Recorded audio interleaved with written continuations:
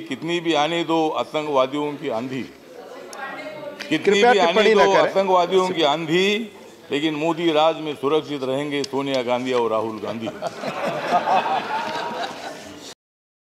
अमित भाई ने जो ये बिल लाया है इस बिल का समर्थन करने के लिए मैं खड़ा हूँ क्योंकि मैं भी आतंकवाद से लड़ा हूँ।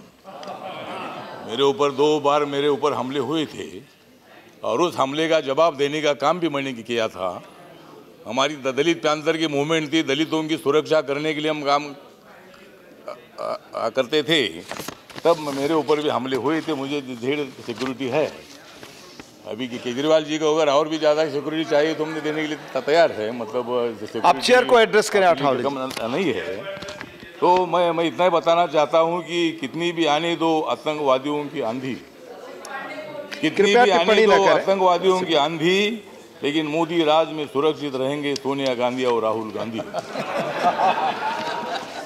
एसपी जी इसलिए हटाई है एसपी जी इसलिए हटाई है क्योंकि उनकी धोखे की समस्या मिटाई है। मतलब अभी इतना धोखा उनको तो नहीं है। सोनिया गांधी जी का और राहुल गांधी जी की चिंता कांग्रेस से ज़्यादा हमको है और हम लोग उनको पूरी सुरक्षा देने की ज़िम्मेदारी हमारी है, लेकिन ये जो कानून बन रहा है इसमें प्रधानमंत्री के फैमिली के लोगों को कितने साल सुरक्षा देनी है? तो मतलब इसीलिए मतलब डेढ़ प्लस जो समस्या है ये डेढ़ प्लस सुरक्षा दे दे दी है। और इसीलिए मतलब हमारे सरकार के माध्यम से हमारे अमित शाह होम मिनिस्टर है मोदी जी हमारे प्रधानमंत्री है मैं सामाजिक न्याय मंत्री हूँ राज्य मंत्री हूँ। तो तुमको सामाजिक न्याय देने के लिए मैं तो तैयार हूँ। और सुरक्षा देने के लिए अमित भाई तैयार है और बाकी सब कुछ देने के लिए मोदी जी तैयार है। तो इसीलिए मतलब यहाँ डरने की कोई बात नहीं है। तो इसीलिए आप चिंता मत करिए। राहुल गांधी की और सोनिया गांधी जी की चिंता हमें ज़्यादा है और उनकी पूरी सुरक्षा करने की ज़िम्मेदारी हमारी है। एसपी जी हटाई है, लेकिन उनकी समस्या में मिटाई है। तो इसीलिए मतलब यहाँ कोई आपके ऊपर अन्याय करने की बात नहीं है।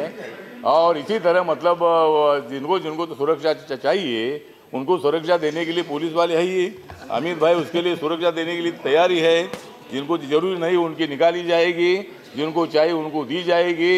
और आनंद जी आपको जी, चाहिए, तो आपको भी देने के लिए हम तो तैयार है क्योंकि आप ज़्यादा बोलते हैं। आप मतलब हमारे ऊपर ज़्यादा अटैक करते हैं तो इसीलिए ठीक बात है तो इसीलिए ऐसी कोई बात नहीं है। तो ये बिल का मैं तो समर्थन करता हूँ और ये बिल बहुत बड़ा इम्पोर्टेंट है। ये गांधी फैमिली पर अन्याय करने वाला बिल नहीं है। उनकी चिंता हमें तो ज़रूर है। इन्हीं शब्दों के साथ मैं ये बिल का समर्थन करता हूँ। जय भीम जय भारत।